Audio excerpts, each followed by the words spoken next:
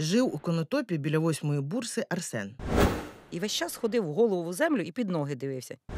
З самого дитинства любив техніку і всякі шутіхи. І взявся він за англійську. Розтібає футляр і дістає звідти сокиру.